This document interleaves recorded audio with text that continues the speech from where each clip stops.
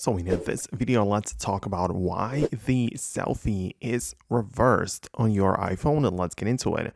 So you might notice that whenever you get inside of the camera, right, and especially the front uh, facing camera, you could see me right there.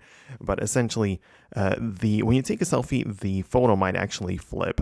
And the reason why that is happening is because of a setting. So you can open up the settings app like that, and you should find the camera section right there. So if you go in here, you can click on this and there are some options, obviously, but one of them, which is part of the composition section, is called mirror front camera.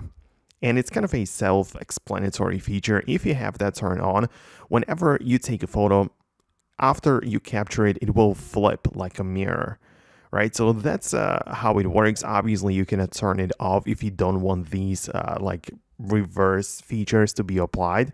However, if you already have a photo which you would like to change or tweak, uh, obviously you can perform the changes. So if you just check out a photo like that, you can click on the edit button at the bottom and go to the crop tool where you have the ability to simply uh, take a look at a photo like that and you can click on this option right there and it's going to flip it like a mirror again. So even if you capture a photo that gets reversed, you can still bring it back to the original state. So yes, it's a good idea to set it up for the future reference, but you can also change and tweak it for the existing photos.